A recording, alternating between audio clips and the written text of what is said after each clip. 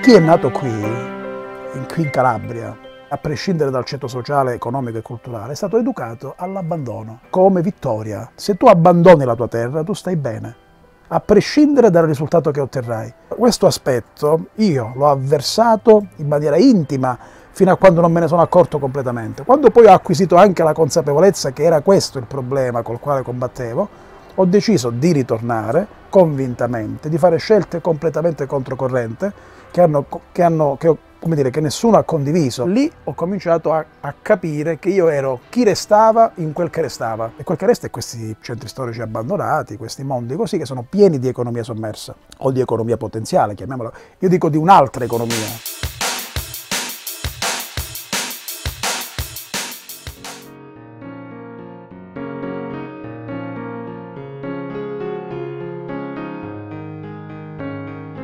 Io penso di aver eh, capito esattamente il mio amore per il Sud nel momento in cui i miei, i miei viaggi all'estero sono diventati frequenti, lunghi e costanti, fino al viaggio più importante in termini di formazione che è stato il viaggio, sono stati gli anni di formazione universitaria di Erasmus. L'Erasmus l'ho fatto in Normandia, in un campus internazionale, acquisivo eh, metodi e strumenti di indagine che non erano i nostri, che però mi hanno dato la possibilità di capire quanto fosse importante e prezioso il mio essere e sentirmi mediterraneo.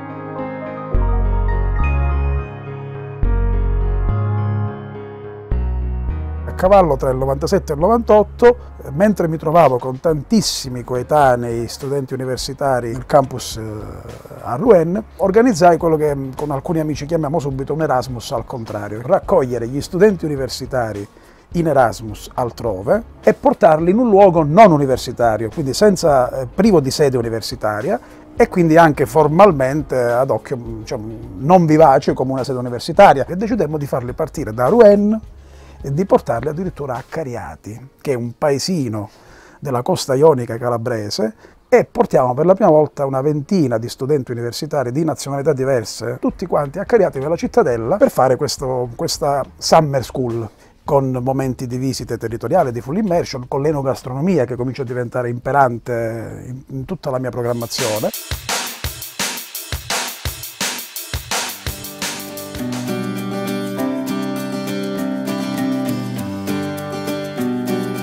Noi decidemmo di costituire un'associazione che chiamammo Otto Torri sullo Ionio. In realtà era un po' il simbolo della Calabria, che è tutta un grande castello affacciato sul mare, perché la Calabria è sempre stata entroterra a tutela delle incursioni del mare. Da 20 studenti con un gruppo di volontari è diventata una summer school a tutti gli effetti, con docenti universitari, con crediti per le lezioni, con docenti anche di altre università, un programma di 10 giorni e con richieste da tutta Europa. La testimonianza è fondamentale, tu non puoi promuovere, proporre, parlare di grandi temi, sederti a tavolino e dire lo sviluppo del Sud, eccetera, e trovarti altrove. Noi la prima cosa che dobbiamo fare è quello di stimolare ad abitare nei centri storici, a vivere nei centri storici e a trasformare quelle difficoltà in valore.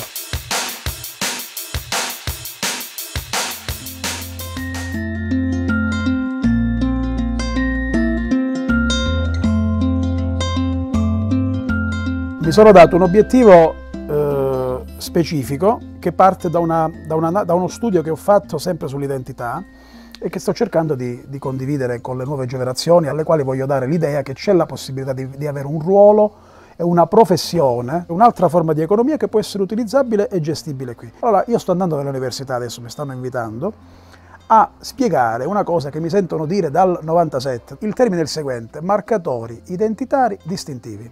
Individuo ciò che nei territori è distintivo di quel territorio. Individuare, mappare i marcatori identitari distintivi e costruire su di essi lo storytelling locale. Sulla base di questi marcatori identitari che intanto producono riappropriazione territoriale, dall'altra parte offrono la possibilità a tanti giovani di inventarsi un lavoro che, che, dire, che si muove su un percorso identitario. Ci sono già almeno tre studenti universitari che hanno fatto tre tesi sui marcatori identitari distintivi e ce n'è una che sta tentando di avviare anche un'attività in merito. Ho fatto fare una lezione magistrale sui marcatori identitari distintivi al sindaco di Matera, facendo, facendo capire come il marcatore, il MID Sassi di Matera, che è un marcatore identitario distintivo, oggi è riuscito a far aumentare il PIL di Matera.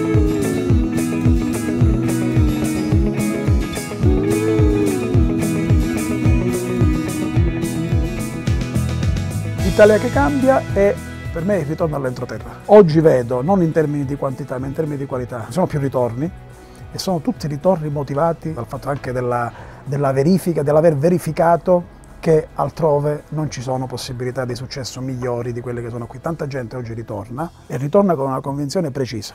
Io ritorno perché mi vado a riprendere il pezzettino di terra che aveva il mio bisnonno, che è rimasto abbandonato, e ci faccio un piccolo frantoio, e ci faccio un, una piccola uh, cantina, eccetera. In questo momento la Calabria, secondo me, penso sia una delle regioni che in proporzione è quella che sta facendo registrare maggiori ritorni manageriali alla terra, eh? cioè di giovani che sono formati fuori in facoltà diverse e che hanno deciso che è qui che possono vivere e addirittura attrarre altri. Quest'Italia che cambia